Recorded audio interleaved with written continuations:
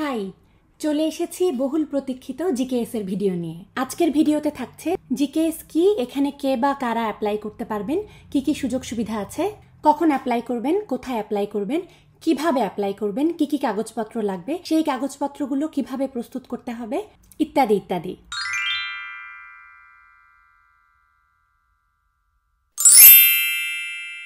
GKS বা global Korea scholarship হলো কোরিয়ার সরকারি বৃত্তির একটা সিস্টেম, যেখানে আপনি অনার্স, মাস্টার্স পিএইচডি সব কিছুর জন্য অ্যাপ্লাই করতে পারেন। এটা একটা ফুল ফান্ডেড স্কলারশিপ এবং এর সাথে এক বছরের একটি কোরিয়ান ভাষা শিক্ষার কোর্সও থাকে। এবারে আসছি আবেদন করার যোগ্যতায়। অর্থাৎ কে এখানে আবেদন করতে পারবে? এই প্রোগ্রামে অ্যাপ্লাই করতে হলে আপনি যদি আন্ডার গ্র্যাজুয়েটে অ্যাপ্লাই করেন, তাহলে যে আপনি যখন কোরিয়াতে প্রবেশ করবেন, সেই সময়ে আপনার বয়স পঁচিশের নিচে থাকতে হবে। আর আপনি যদি গ্র্যাজুয়েট প্রোগ্রামে আবেদন করেন, তাহলে আপনার বয়স চল্লিশের কম থাকতে হবে। আপনি অনার্স মাস্টার্স বা পিএইচডি যেটার জন্য অ্যাপ্লাই করেন না কেন অ্যাপ্লাই করার সময় যেহেতু আপনাকে সার্টিফিকেট জমা দিতে হবে, করবেন, আপনি যেই ডিগ্রির জন্য আবেদন করবেন, তার পূর্ববর্তী ডিগ্রিটি অর্থ হচ্ছে আপনি যদি আন্ডার আবেদন করেন এইচএসসি বা সমমানের ডিগ্রি যদি আপনি মাস্টার্সের জন্য আবেদন করেন ব্যাচেলার্সের ডিগ্রি আর যদি আপনি পিএইচডির জন্য আবেদন করেন, তাহলে মাস্টার্সের ডিগ্রি আপনার থাকতে হবে। আর রেজাল্টের ক্ষেত্রে আবেদনের যোগ্যতাটা হচ্ছে, যেই মানদণ্ডে আপনি পড়াশোনা করে থাকেন না কেন, আপনার রেজাল্ট শতকরা আশি ভাগের ওপরে হতে হবে। আর সেই সাথে বিদেশে দীর্ঘ সময় পড়াশোনা করার জন্য আপনাকে শারীরিক এবং মানসিকভাবে সুস্থ থাকতে হবে। এবারে আসছি কারা আবেদন করতে পারবে না এই প্রসঙ্গে। যদি আবেদনকারীর বা আবেদনকারীর পিতা মাতার কোনো একজনের জাতীয়তা কোরিয়ান হয়, তাহলে সে আবেদন করতে পারবে না। যদি আবেদনকারী ইতিপূর্বে কোরিয়া থেকে কোনো ডিগ্রি নিয়ে থাকেন, তাহলে আবেদন করতে পারবেন না।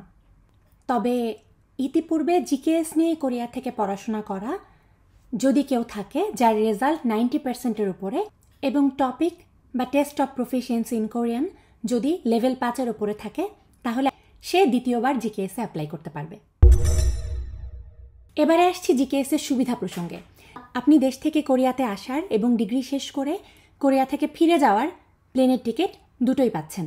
প্রথমবার আসার পরেই রিসেটেলমেন্ট অ্যালাউন্স হিসাবে কোরিয়ান টাকায় দুই লাখ কোরিয়ান উন পাচ্ছেন। সেই সাথে আন্ডার গ্র্যাজুয়েট প্রোগ্রাম নাকি গ্র্যাজুয়েট প্রোগ্রাম তার উপর ভিত্তি করে প্রতি মাসে নয় লাখ থেকে দশ লাখ কোরিয়ান উন পাচ্ছেন।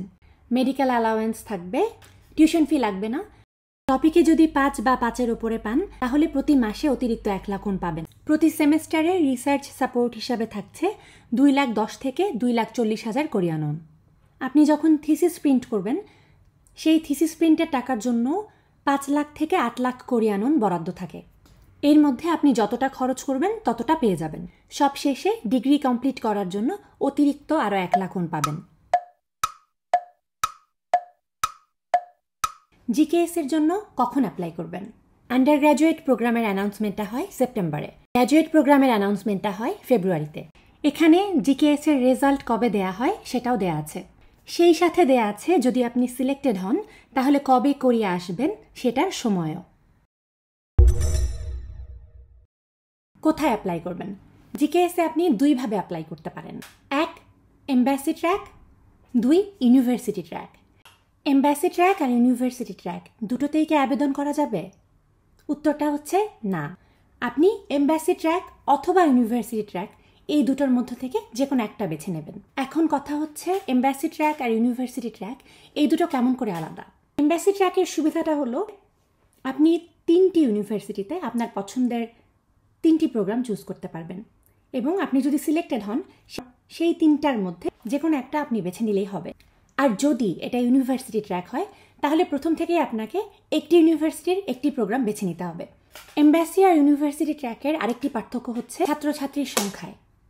এম্বাসি ট্র্যাকের সংখ্যাটা ইউনিভার্সিটি ট্র্যাকের থেকে একটু কম। জিকেএসএ প্রতি বছর আন্ডার গ্রাজুয়েট প্রোগ্রামে এম্বাসি ট্র্যাকের জন্য বরাদ্দ সিট একটা। ইউনিভার্সিটি ট্র্যাকের জন্য সেটা হলো পাঁচটা। আর গ্র্যাজুয়েট প্রোগ্রামে এম্বাসি ট্র্যাকে প্রতি বছরের জন্য বরাদ্দ সিট পাঁচটা এবং ইউনিভার্সিটি ট্র্যাকে নয়টা। কি কি কাগজ লাগবে? এই হলো যেসব কাগজপত্র আপনার লাগবে, তার লিস্ট একটু পরে আমরা এইসব কাগজপত্র কীভাবে প্রস্তুত করতে হয় সেটা দেখব। ফর্মে পরিষ্কার করে কি লাগবে, কয়টা লাগবে এবং ফর্ম্যাটও দেয়া আছে। ফর্মটি যেখানে পাবেন তার লিঙ্ক ডেসক্রিপশন বক্সে দেওয়া আছে। সেই লিঙ্কে অ্যাপ্লিকেশন গাইডলাইন আর ফ্রিকুয়েন্টলি আস্কড কোয়েশ্চেনও দেওয়া আছে। খুবই খুবই খুবই গুরুত্বপূর্ণ। মন দিয়ে শুনুন। আপনি যখন অ্যাপ্লাই করবেন, যে কাগজগুলো আপনি জমা দিবেন, তা আপনি কখনোই কোনো অবস্থাতেই ফেরত পাবেন না। আপনি চান্স পান বা না পান। কাজেই যখন আপনি কাগজ জমা দেবেন, খেয়াল করে দেখবেন পাশে লেখা থাকে যে অরিজিনাল কপি জমা দেব। এর অর্থ কি? অরিজিনাল কপি যদি আপনি জমা দেন, তারপর যদি আপনি সেটা ফেরত না পান, তাহলে কীভাবে হবে?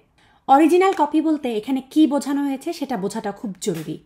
কাগজপত্রকে অরিজিনাল কপির সমমানের করার জন্য একটা প্রক্রিয়া আছে। সেই প্রক্রিয়াতে আপনাকে কি করতে হবে? আপনি যেই বোর্ড থেকে পাশ করেছেন, সেই বোর্ড থেকে আপনাকে প্রথমে আপনার সার্টিফিকেট ট্রান্সক্রিপ্ট অ্যাটেস্টেড করতে হবে। তারপরে শিক্ষা মন্ত্রণালয় থেকে, তারপরে পররাষ্ট্র মন্ত্রণালয় থেকে নোটারাইজও করতে হবে। এই চারটি ধাপ করার পরে আপনার কাগজগুলো অরিজিনাল কপি বলে বিবেচিত হবে। কাজেই আপনার কাজ হচ্ছে প্রথমেই আপনার অরিজিনাল কপির ফটোকপি করা। তারপর সেই ফটোকপিতে আমি যেভাবে বললাম, সেভাবে করে আপনার কাগজকে অরিজিনাল কপির সমতুল্য বানানো এবং তারপরে কাগজ জমা দেয়া। তা আপনি এম্বাসিতেই দেন আর ইউনিভার্সিটিতেই দেন। এম্বাসি আর ইউনিভার্সিটির ক্ষেত্রে আরেকটা পার্থক্য হলো আপনি কয় কপি কাগজ জমা দেবেন এর সংখ্যা। ইউনিভার্সিটি ট্র্যাকে যদি আবেদন করেন, একটু আগে যেভাবে বললাম, সেভাবে কাগজগুলো প্রস্তুত করার পরে সেই কাগজগুলোকে আমে ভরে ইউনিভার্সিটির ঠিকানা লিখে সরাসরি ইউনিভার্সিটির ঠিকানায় পাঠাতে হবে। যদি এম্বাসি ট্র্যাকে অ্যাপ্লাই করেন, সেক্ষেত্রে অ্যাটেস্টেড করা আর নোটারাইজ করা কাগজের সেটটাকে আরও তিন সেট ফটোকপি করবেন। ফটোকপি করার পরে মেইন কপিটাকে একটা খামে আর বাকি তিন সেট ফটোকপিকে আরেকটা খামে ভরে সেই দুইটা খামকে আবার আরেকটা খামে ভরে সেই খামের উপর নাম, ঠিকানা লিখে এম্বাসিতে জমা দিতে হবে। খাম নিয়ে খাম খেয়ালি করবেন না। এম্বাসির ঠিকানা ডেসক্রিপশন বক্সে দেওয়া আছে। জিকেএস এর আরেকটা ব্যাপার হলো, এখানে আবেদন করার জন্য কোনো অ্যাপ্লিকেশন ফি লাগে না। এই হলো জিকেএস এর সিলেকশনের প্রসিজার। এটি তিনটি ধাপে হয়ে থাকে। প্রথম ধাপে এমবাসি বা ইউনিভার্সিটি একটা স্টুডেন্টকে রেকমেন্ড করে। তারপরের ধাপে এনআইআইডি থেকে, অর্থাৎ national institute of international education থেকে স্টুডেন্টকে রেকমেন্ড করা হয়। তারপরের ধাপে এমবাসি ট্র্যাকের ক্যান্ডিডেটদের জন্য ইউনিভার্সিটির একটা সিলেকশন হয় এবং সবশেষে অ্যানাউন্স করা হয়। এছাড়াও জিকেএস এর ব্যাপারে যাবতীয় নোটিশ আপনারা এখান থেকে জানতে পারবেন।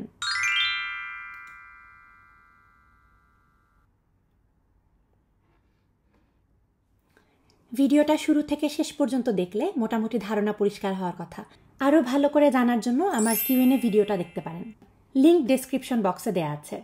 তারপরও যদি কোনো প্রশ্ন থাকে, কমেন্ট বক্স তো আছেই, লিখে জানাবেন। যদি সহজে উত্তর দেওয়ার মতো হয়, তাহলে কমেন্টে উত্তর দেওয়ার চেষ্টা করব।